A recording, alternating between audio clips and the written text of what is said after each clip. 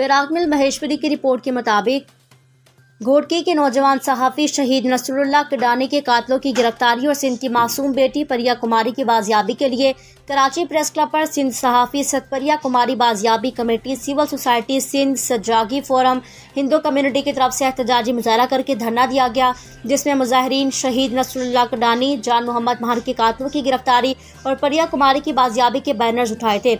सिंध में सरदारी, जागीरदार वडेरों के खिलाफ नारेबाजी कर रहे थे। एहतजाज से लियाकत अली जलबानी, सारंग जोयू नजमा महेश्वरी, ससई लोहार और समेत दीगर रहनुमाओं ने खिताब करते हुए एसएसपी घोटकी को मअतल करने नसरुल्ला किरानी के कातलों की गिरफ्तारी, परिया कुमारी की बाजियाब करवाया जाए। सिंध में सरदारों, वडेरों की रियासत के अंदर रियासतें मौजूद हैं, जहाँ इंसानी हकूक की खिलाफ वर्जियाँ हो रही हैं।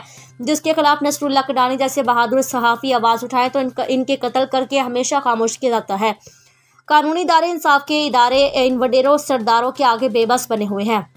रियासत की रिट कमज़ोर हो रही है, पुलिस इन सरदारों की रखवाली में लगी हुई है, जिसकी वजह से सिंध के नौजवान में अनाव की पैदा हो रही है। सिंध में कानूनी इदारों के खिलाफ नफरत पैदा हो रही है। इसको हमारे मुल्क के कानून को बचाना है। सिंध के सहाफ़ियों को तहफ़ देकर सरदारों के खिलाफ कार्रवाई करके नफरत को कम करना होगा। सहाफ़ियों के कत्ल में मुलविस जवाबदारों को गिरफ़्तार करके गहरे किरदार तक पहुँचाया जाए।